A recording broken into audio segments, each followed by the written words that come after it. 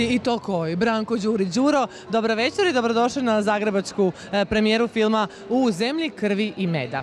Hvala. E, nakon e, Sarajeva niste bili vi u Sarajevu, vi ste bili u Berlinu na premijeri. Zašto vam je promaknulo Sarajevo?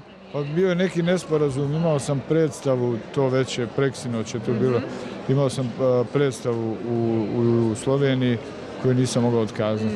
Poklapanje u rasporedu je onda da, problem. E, evo, e, tamo su ovacije bile e, cijeloj ekipi filma nakon projekcije. Večeras ovdje Zagreb. E, imate li uopće bojazni da se hrvatskoj publici ovima večeras koji će gledati film neće možda film svidjeti? Mislim da uopće nema razloga pomišljati tako nešto.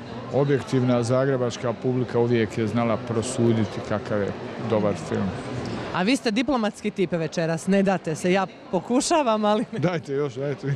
Vi samo naprijed, ja ću dostojanstveno podnosim svak... To, e, to mi je kao, kao s Goranom Kostićem malo prije. On zauzme pozu i onda ja kao ono udaraj. E, jako puno ljudi ovdje se okupilo večeras, e, naravno i zbog Anđeline i zbog e, ostatka, e, ostatka glumačke, glumačke ekipe. Bojim se da, da zbog ostatka glumačke ekipe nije niko došao. Ali onaj, to je normalno sasvim. Ja sad uzmem mobitel da nazovem deset ljudi prvih e, u imeniku i kažem da stojim s Đurom, više bi ih možda vrištali nego za Anđelinu Žoli. To je lijep pokušaj, ali ovaj, ne vjerujem. Ima- Imate čudne prijatelje. Đuro, ne sviđa mi se kamo ide ovaj razgovor. E, večeras, večer- večeras premijera u Zagrebu, bilo je Sarajevo, sinoć e, je bio Pariz, prije toga Berlin. Je li ostao još jedan grad koji niste obišli? E, kako sad dalje se planira ova presturneja?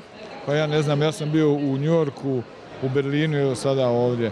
A mislim da, je- da je danas kraj te mini turneje. E, ok, danas smo gotovi. Meni je drago da sam ja baš točka na i, ili vi meni kako vam drago. Vidimo se nešto kasnije u dvorani. Hvala vam puno na razgovor. Hvala vama, pozdrav. Evo, odradili smo